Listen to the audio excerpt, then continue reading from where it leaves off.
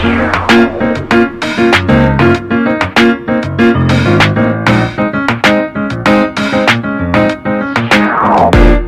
morning, Lite of Jericho, and welcome guests. What a blessing it is to worship the Lord in spirit and in truth. Make sure you like, share, and subscribe, and get ready for this worship experience. Here are your weekly announcements. Check our Facebook page every Monday for our WOW playlist, the worship playlist for your week. 1 Thessalonians 5 and 17 says that we should pray without ceasing. So join us Tuesday at 6 p.m. and Thursday at 7 p.m. on the LOJ prayer line. Every Wednesday, join our young adults at 7 p.m. on Zoom for Bible study where our unit is Relationship Goals. Join us every Sunday at 9:30 a.m. for Ambassadors Academy on Zoom. Remember our watchword for 2020 is face. Faithful, available, committed, and exemplary. Let's face the future together with God. A quote from our own Pastor Reginald D. Rogers Sr. During this season, continue to give to support our church. Remember, there are six ways to give. Church Center app, Givelify, Cash app, text to give by mail, or we can take it over the phone with Sister Nicole Dotson. Those are your weekly announcements. Be blessed.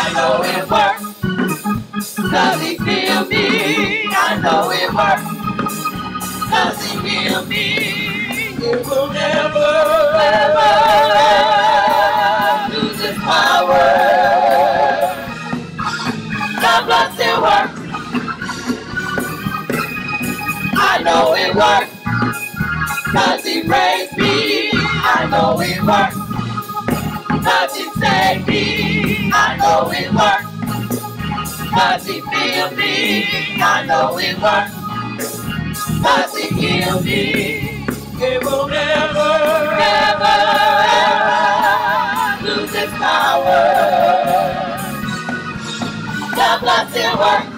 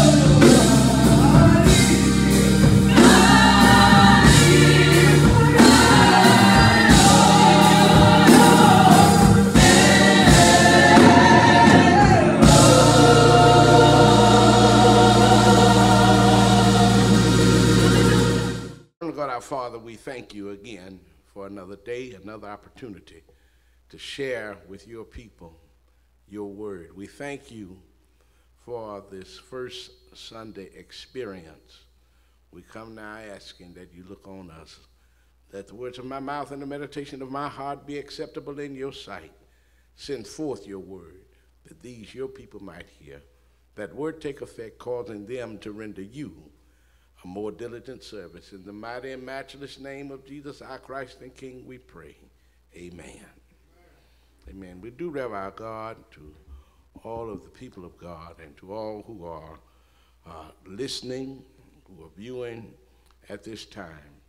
Our prayer is that God will bless you in a mighty way. If you are unsaved and you're hearing us today, understand that you're not hearing us by accident nor incident but you're hearing us because God have determined to allow you to hear his word on today. He that hath an ear to hear, let him hear what thus saith the Lord. I'd like to invite your attention today to the gospel recorded by John, chapter number 13, verses 21 through 25. Uh, John chapter 13, verses 21 through 25. The words are from the King James Version. When Jesus had thus said, he was troubled in spirit and testified and said, Verily, verily, I say unto you, that one of you shall betray me. Then the disciples looked one on another, doubting of whom he spake. Now there was leaning on Jesus' bosom one of his disciples, whom Jesus loved. Simon Peter therefore beckoned to him that he should ask who it should be of whom he spake. He then lying on Jesus' breast, said unto him, Lord, who is it? Then answered, Jesus answered, He it is to whom I shall give a sop. And then, and when I have dipped it, and when he had dipped the sop, he gave it to Judas Iscariot the son of Simon. Amen.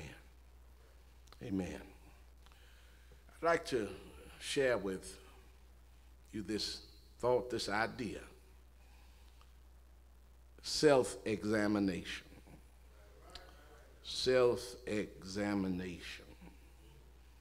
Self examination. when it comes to one's salvation, the proof of that salvation is in the life that we live. It's not, it's not a matter of, of, of who think you are or who does not think you are. One must come to know the Christ of God for him or her self. The proof of our salvation, again, is not, is not how often we attend on the sanctuary. But the truth of the matter is that, that, that when, when it comes to collective worship, we will desire to be in fellowship with brothers and sisters of a like mind who seek to collectively bring glory to God, to worship the true and the living God. It requires, our walk requires that we consistently uh, do self examination. In as much as God holds us accountable, and as much as the body of Christ holds us accountable personally, we have to learn how to hold ourselves accountable. we need to examine, we need to examine our, our every thought, our every motivation. Why am I doing what I'm doing? Why am I saying what I'm, I'm saying? Does it bring God any glory? Does it edify the body of Christ? Listen, we have to, we have to consistently examine ourselves. The reason being is because, inasmuch as much as you are a new, a new creature in Christ, uh, that, old, that old man is still hanging around looking for an opportunity to wag his head. Here's just why our text. Uh, uh, Jesus is, is getting ready. He's getting ready uh, to go to Calvary. And you know what happens at Calvary, don't you? At Calvary, he pays, he pays the ultimate price for our salvation, that we might receive truly the grace of God. Uh, there, there are so many who, who, who would, would like to throw Calvary away. But don't you know that I, I love, Lord, I, I, I, love, I love the Christ, but I, I, I get tired of Calvary. Listen, uh, the Christ would not make any sense without Calvary. Amen. Amen. Listen, uh, I know we in we, in a, we, we, we like to we like to buy one get one free deal. We like to we we like free stuff, but we never consider the price. Amen. Never consider the price. Listen, this thing that we enjoy so, the grace of God, there was no little price paid for it but it required, listen, the sacrifice of the Lamb of God. He became a ransom for many. That we might, listen, that we might really enjoy, really enjoy the understanding of whosoever. Whosoever says that it doesn't make a difference uh, what's in your DNA it, it says it doesn't make a difference what you used to be, nor even how far you have fallen. Whosoever, listen, whosoever shall call upon the name of the Lord shall be saved.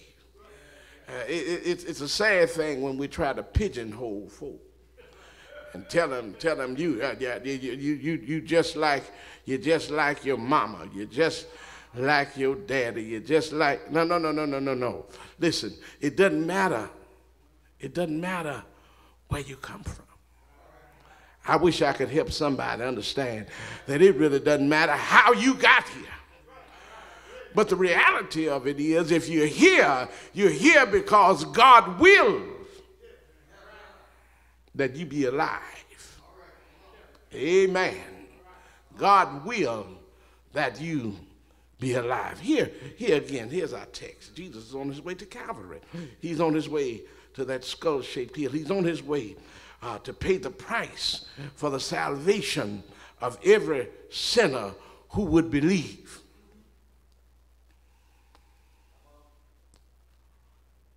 He calls together that group, and they are preparing.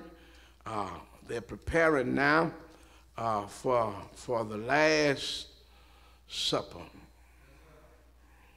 This is his final, following the final discourse to the people. Jesus calls them together and he, he, he, he shows them by example how to humble themselves. You remember, he, he, he, he washes their feet. He's the King of Kings but he humbles himself. He condescends to wash their feet. He is the God man, but he shows them not only by precept, but by example how to humble themselves. Brothers and sisters, listen, we will really never come to know the joy of serving until we learn how to serve others. Amen. Amen. Listen, you talk about serving God. The only way to serve God is by servicing the need of our fellow man. And when we come to learn how to serve from the heart, not because somebody's going to call my name, not because uh, um, uh, I'm, I'm, I'm going to I'm going to get something other than the joy of serving. Listen, when I do it because the love of God is in me, the love of God is in me. And because the love of God is in me, I, I, I need, hear me today, I, because the love of God is in me, I need to serve somebody. Service somebody. Jesus, at this point in, in at the text, he foretells his betrayal. He, he foretells his betrayal. And in, in telling, for telling his betrayal, Brother John says, Brother John says that, that, that, that, that, that Jesus was troubled in spirit. And being troubled in spirit, he testified. He's troubled in spirit, not because of what he has to endure, but he's troubled in spirit because, because uh, there's one who's got to go. There's one who's got to go. And, and, and the truth is, Jesus loved them all to the end. So he's troubled in spirit, and being troubled in spirit, he testifies. Do you know the difference between uh, testifying and just randomly talking? When he listen, uh, when you testify, you talk about what you know. You testify about what you have seen. And, and, and, and so here it is, knowing, knowing who it was and what was going to take place. Jesus says to them, Verily, verily, which is truly, truly, I said to you that one of you shall betray me. Can you fathom the idea of betrayal? To be betrayed, to be betrayed is to have had close communion with one. And they go the other way. To be, to be betrayed is, is to have walked with, yeah, along the way, and have had confidence with. And then it all goes for naught. Uh, it, it, it's kind of like what happened between uh, Joab and, and David when David said, when David was, when David wrote, wrote his psalm, he was, he was, he was wearied at the outset, and he says, fearfulness and trembling have come upon me. And he goes on in that 50th psalm to talk about uh, uh, uh, what was taking place internally because he's deeply sorrowful. He's deeply hurt because he's been betrayed by one who was supposedly his confidant. And he says, he says, he says these words, and I'll, I'll, I'll move back to the text. I just want, want you to understand what betrayal feels like. He says this, he says, we walk to the house of God in company. He, his words were smoother than oil, yet they were drawn swords. They were, they were softer than butter, but yet he had war in his heart. Uh, uh, the very one that he had put placed his confidence in was the one who was now betraying him at a time when he really needed him. Ship of state was in trouble. I wish I had time to talk about it. Ship of state was in trouble, and Joab jumped on the opposite side. You have to be, listen, listen. Uh, uh, uh, and, and, and I'm not trying, I'm not trying to, to throw anything in between you and your relationships. But ultimately, our trust need to be first in God. One thing about him is he won't change on you. One thing about him, he won't fail you. And he will not he, he will not entertain hearsay about you. Jesus is deeply sorrowed. Here he's very sorrowful. He's, he, he's, he's moved and he says, uh, One of you shall betray me. One of you that I have handpicked. One of you who have walked with me, talked with me, have sat down at meet with me.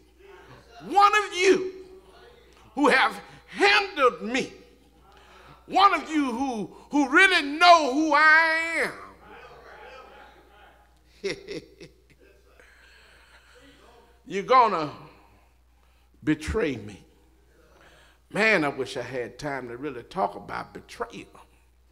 Because, because, because what happens is uh, uh, when, when you sit silent and sanguine, about the things that go on around you. You are betraying. You are betraying. Listen, you're betraying, especially when you have the ability to make for a change. Listen, listen to this. Don't call this a friend.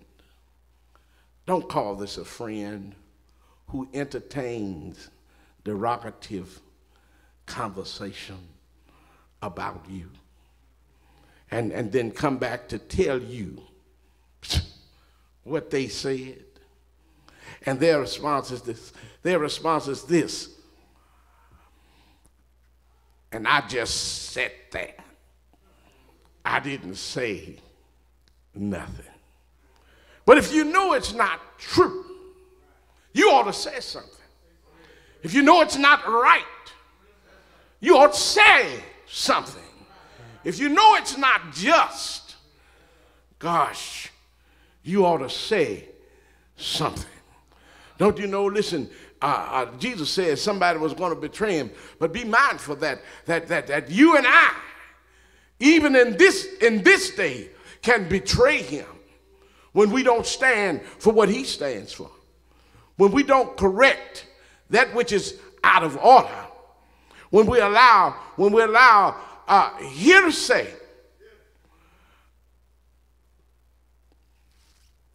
that didn't bring him glory. We ought to be mindful. But here it is uh, the disciples are somewhat forlorn because Jesus does not call a name. He just says that one of you shall betray me, the disciples. Look one to the other, one to the other. John says, doubting of whom he spake. Jesus said it. By this time, they understand something about it they do understand that when he says something, it would truly come to pass. When he spoke these words, uh, they are looking at one another and they are, they are asking, who could it be? Lord, is it me? Is it I? Listen, uh, I said to you at the outset that we all be consistently, constantly uh, examining ourselves, examining our motivation, examining why we do, Lord, uh, brothers and sisters, what we do. Here's brother. They're sitting down. I know Michelangelo uh, uh, uh, made, made this great picture of folks sitting around the table, said it was the Last Supper, but the truth is they sat on the floor. They sat on the floor. They leaned in, they leaned over, they were on the floor. And um, one, of, one of them leaning on, on the Lord's bosom, one of his disciples, whom he said, listen, uh, says, uh, uh, one of his disciples whom Jesus loved. He's leaning on him. He's leaning on him. And Peter says, beckons for this brother. And, and, and, and, and that and he want, he actually says he says this this uh, uh, ask him ask him who it is talking about john i'll give that to you he's asking talking about john and john is the john is the is the one who seemed to have more understanding about who Jesus is and his mission than everybody else. Because John constantly writes, and it came to pass, and so it was. It came to pass, and so it was. Because John seemingly seems to understand that Jesus is on this divine calendar that has to be fulfilled. So he says it comes, it came to pass, and so it was. And so he asked John. He said, "Listen, uh, ask him, ask him who who it is."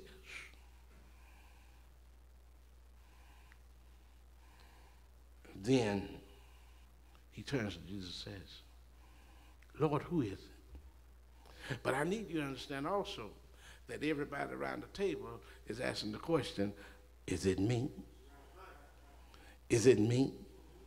Because even though they were with him uh, almost every day for three and a half years, even though they had seen the miracles wrought by their hand. They were still students, they were still learners, and they often failed and paled in the face of tests.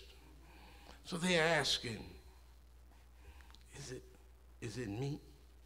And Jesus goes on to tell them, he goes on to tell them, uh, uh, uh, uh it, uh, it's the one whom I gave the sop when I have dipped and when he had dipped the sock, he gave it to Judas Iscariot.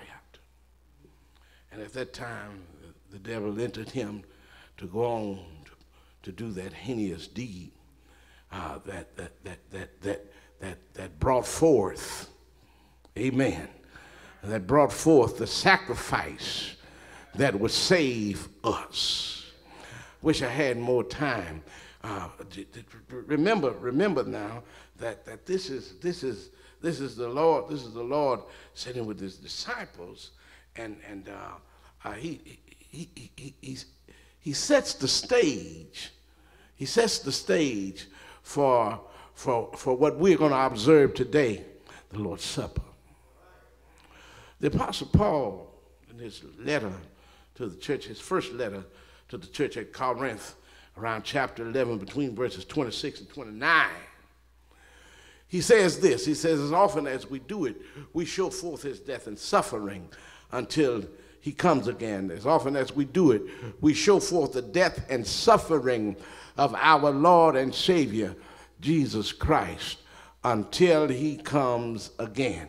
But he grants us this bit of information. You know, the question was asked around the table uh, is it me? he says, he's, Paul says, uh, we really need to examine ourselves.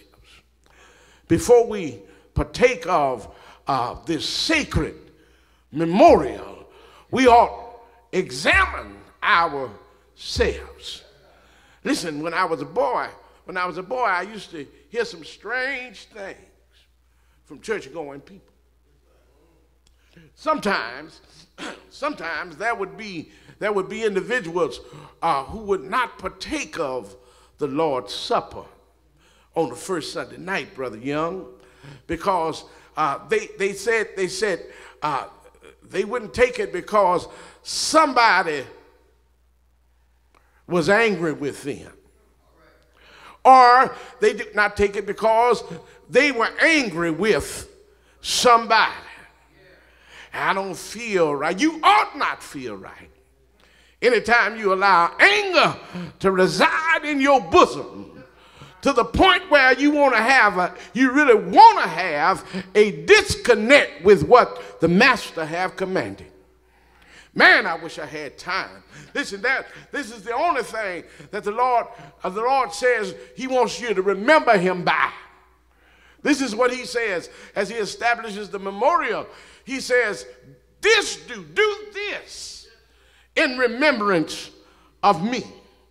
This is what he says do it in remembrance of me. And you mean somebody's going to have so much power in your life that you will deny the memorial of the Lord because you said somebody was mad at you? That's between, listen, let nothing separate you from the love of God, the things that God loves the truth of God. Let nothing separate, let nothing get in between you and the Lord. I won't take it because I'm mad. Listen, brothers and sisters, God really does expect us to have some kind of self control. And there's no way that we're going to pray and pray right and the Spirit of God not convict us when it comes to the things of. I wish I had a witness here. The apostle says to the church of Corinth and says to us today that we ought examine ourselves.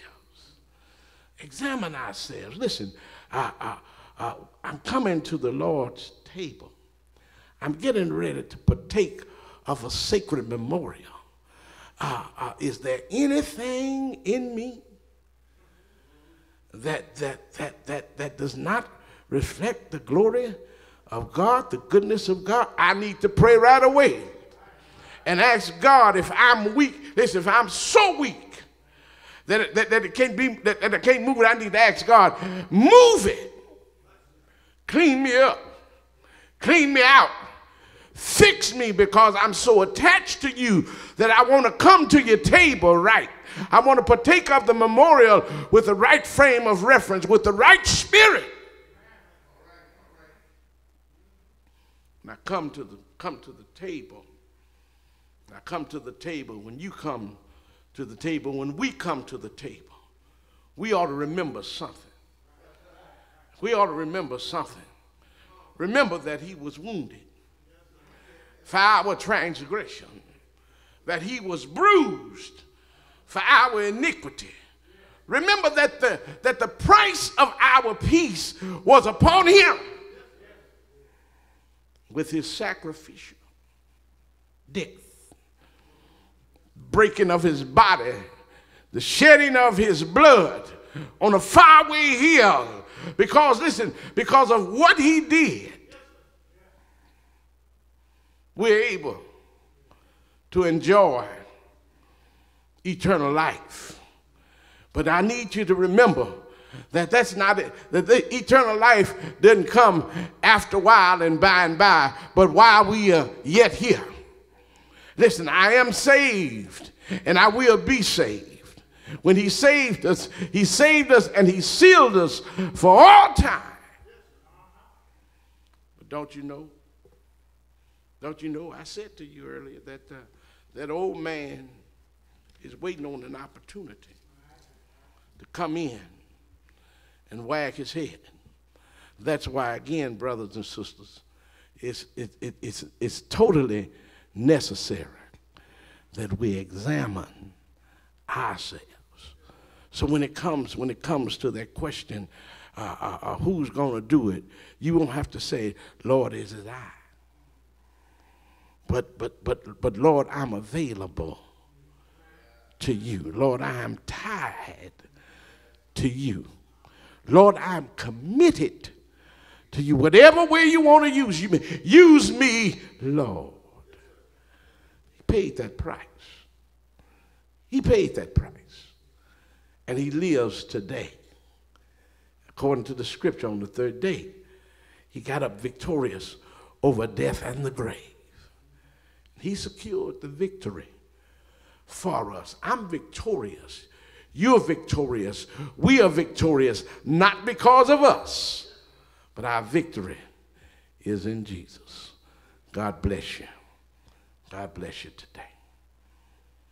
Father, in the name of Jesus, our Christ, our King, again we come thanking you for life and thanking you for salvation. Thank you for your amazing grace that granted us an opportunity to know you personally. Come now asking that you look on those who are viewing who don't know you as a personal Savior, who don't, who don't know you as, as, as Lord of their lives. Praying that you would touch hearts, that you would touch minds, that you would grant them a glimpse of, the, of your all and know that it comes only through the connection with your Son, uh, whom, whom it pleased you to bruise on our behalf. Greater love, Father, we know not. We ask now for the salvation of sinners. Touch that man, that woman, the boy, girl who's listening now, and grant them, O oh God, the opportunity to be saved. We ask it all in Jesus' name for the sake of the church and kingdom building. Amen. Amen. Again, the Lord has blessed us to have another First Sunday experience where we observe the memorial the Lord have left here for us. He said that he wanted to be remembered by this, and it's a good focal point for all that we do. He gave his life that we might have life, that we might have a right to the tree of life. He hung, he bled, he died to pay the penalty of our sins. But on the third day, he rose for our justification, that we might be in fellowship and in right standing with God our Father. Truly, we thank God for the Christ. This time we ask Brother Byron Fondren if he will ask the Lord's blessing over this cup and over this morsel of bread.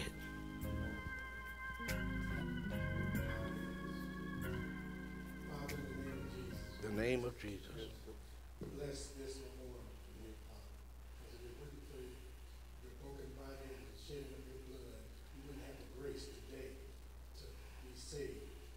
We thank you, Father. Thank you. We thank you for your, for, for your son, for what he done for us. Father. We thank this in Jesus' name we pray. Amen. Amen.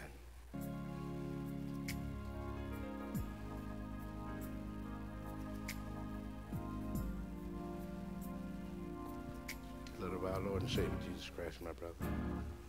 The body and the shed blood of our Lord and Savior Jesus Christ. The body and blood of our Lord Jesus Christ. Those who are viewing at home might use the items in your home. Juice, water,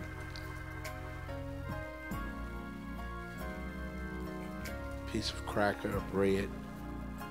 It's not so much the instrument as it is the memorial in your heart. Amen. This time we ask that you prepare your heart and your mind to partake of this memorial. Friends, death is in every passing breeze, and it lurks in every flower. Each season carries its own disease, and it purges every hour with this understanding if we don't rise again, it is well with our souls. Let us eat and drink together the body, the blood of our Lord.